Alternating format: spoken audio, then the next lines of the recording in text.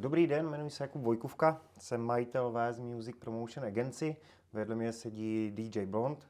Dobrý den. Čau. Čau, čau. Ahoj, čau, Ahoj. Peťo. Prosím tě, jak se ti stávalo dneska? Dneska celkem dobře, dá se to. Těšil se na dnešek? Těšil, těšil, moc jsem se těšil. A nějaké očekávání? Poznal jsem nové kolegy a velice, velice jsem nadšený z této spolupráce. Tak, Peťo, dáme si asi nějaký kratoučký rozhovor mezi sebou. Mám připravených pár otázek na tebe, tak můžeme začít? Můžem, můžem. Tak, jak jsi dostal vůbec DJingu? Úplnou náhodou chodíval jsem na diskotéky a tak nějak jeden z kolegů DJů tehdejších začátečníků mě k tomu dostal. Tak jsem se jakože, že se zapojím a nabídl, byla mi nabí, daná nabídka, tak jsem se k tomu dostal. Říkal, že kývnul jsem na ní a nebyl problém. Hmm, jak dlouho hraješ? 17 let to bude. A na čem jsi teda začínal hrávat? Už je to CDčka, to už je taky rarita. A přehrávače nějaký? Přehrávače tehdy to byly Omnitroniky nebo, nebo no, něco takového, teď už nevím, to už je hodně dlouho. Potom Amerika, American Audio a teď už jsou 13 let DDJ, jako digitální kontrolery a prof, eh, jako počítač.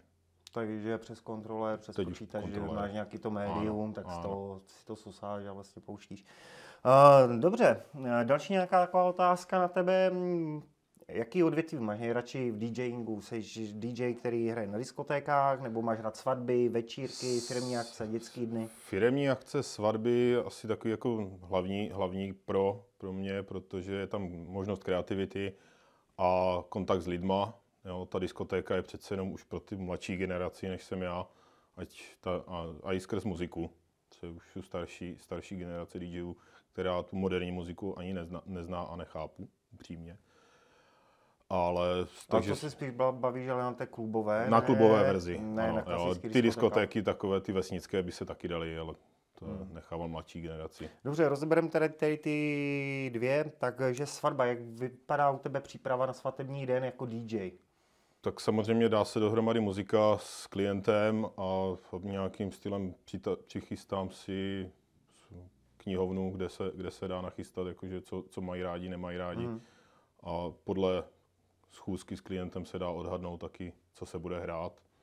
A podle tak toho... ono je to kolikrát i skrz Samozřejmě, svatebčany, že jo, těch lidí je hodně různých, hodně lidí, hodně stylů té muziky. Samozřejmě. Ale řídíš se teda většinou spíš tím, co chcou ti novomanželé, nebo jak to máš? Taky i podle lidí, že podle svatebčanů, kdo si co přeje, jakou mají chuť, hmm. jakou, Takže není jaká problém muzika, k tobě přijít není, a nechat si zahrát není přání. problém. Je to, hmm. je to jejich den, je to jejich večer a chtějí si ho užít naplno, takže samozřejmě se jim snažím splnit, co jim na očích vidím. Hmm.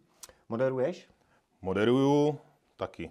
Není problém, mám s tím zkušenosti, a není problém odmoderovat jakékoliv mm. představení či vystoupení. Mm, tak, když se zeptám dál, svatba Česko, Slovenska, Česko, Ukrajinská, Česko-zahraniční, setkal se s nějakou takovou? Setkal, měl jsem možnost eh, Australany, Němce, eh, Angličany, jo, bylo toho víc, dokonce i celebrity jako hosté, mm. není problém. A hrál jsi přímo pro nějakou celebritu jako DJ? Ne, ne, ne, ne nehrál, nehrál.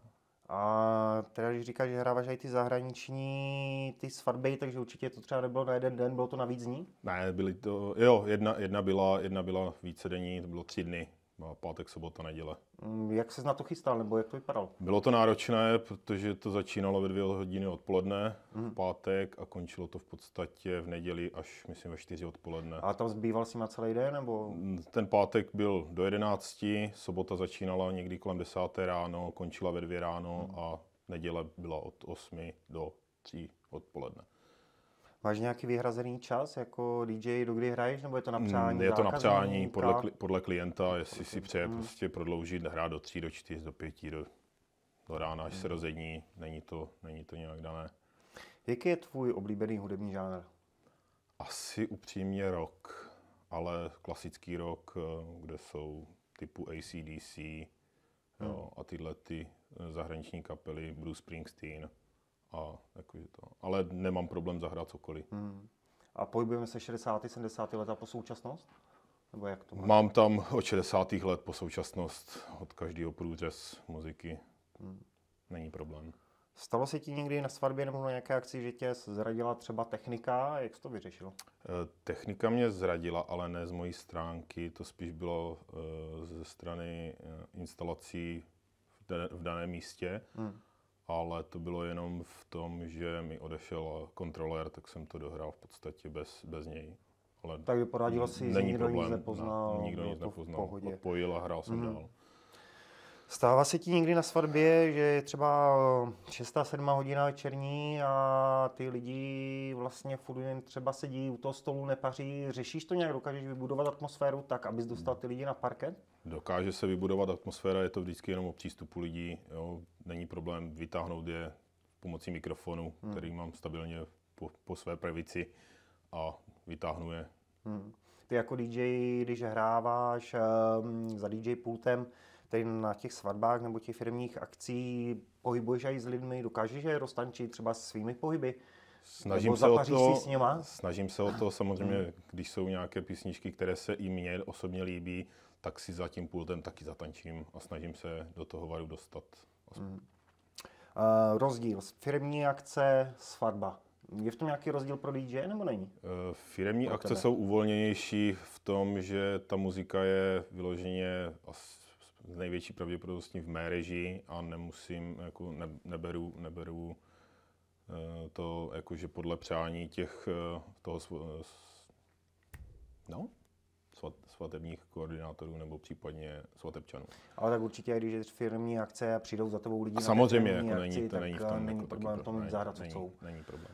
Já si myslím, myslím třeba osobně, že ta firmní akce, že je tam DJ jakoby takový, který je jakoby hudební spíš podkres na té akci, než na té své. Na té své přece bys měl být jako, že ten, neříkám ten nejhlavnější, nejhlavnější jsou snoubenci, ale seš ten, který řídí ten den. Vlastně v rámci i moderování dokážeš to takhle celý Jasně, jakože no. odmoderovat ten program svatební. Dá, dá, hmm. dá se to skoordinovat, řeším kolikrát i soutěže s svatebčanama nebo svět, svědek, svědkyně, hmm. Jaký mají koncept, kdy bude časový harmonogram, jak to bude navazovat, abych se taky přizpůsobil. Je to pro tebe lepší, když máš od nich nějaký časový harmonogram, jak to bude vypadat? Je to určitě jednoduš, jed, jed, jednodušší. Jo? Je to jednodušší hlavně v konceptu výběru muziky. Jo? Teď otázka, jestli se hraje i s obědem, jo? podkresová muzika hmm. na oběd, jestli pak jedou na focení, svatebče, jako nevěsta s ženichem jedou na focení, tak hmm. nějaký ten podkres k tomu, jo? co zhruba by se dalo.